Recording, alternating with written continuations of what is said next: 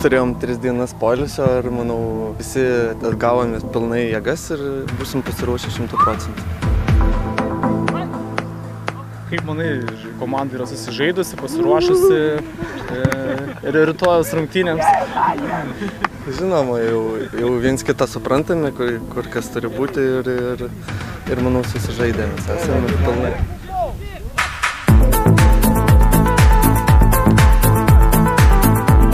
Ekranas šeštąjį savo namuose aukštyties stadione. A lygos 13 ture susikaus su turnyro lentelės kaiminė Garždų banga.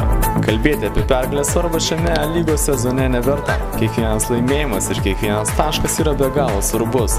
Pergalė iškovojusi ekipa priartės prie pirmojo trejato komandų arba bent jau neleis joms nutolti, o pralaimėjusi galėtų atsidurti ir septintoje pozicijoje.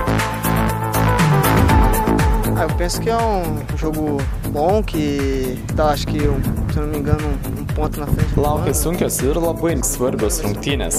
Situacija turnyro lentelėje yra įtempta. Bus nelengva, bet komanda pasiruošusi pergaliai. Ir sieksime, žinoma, trijų taškų. É isso.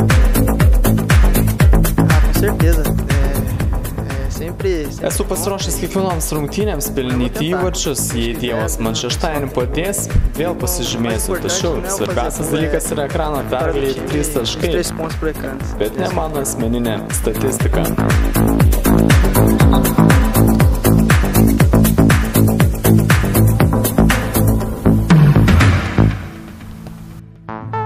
Taigi, priminame, kad ekrano ir bangos mačas vyks šį šeštadienį aukštaitijos stadione, o rungtynių pradžia 16 val.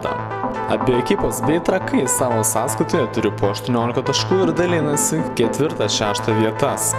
Mačas svarbu didžiulė. Pergalės atveju ekipa neleistų nutolti pirmam trejetui bei įsitvirtintų turnyro lentelės viduryje.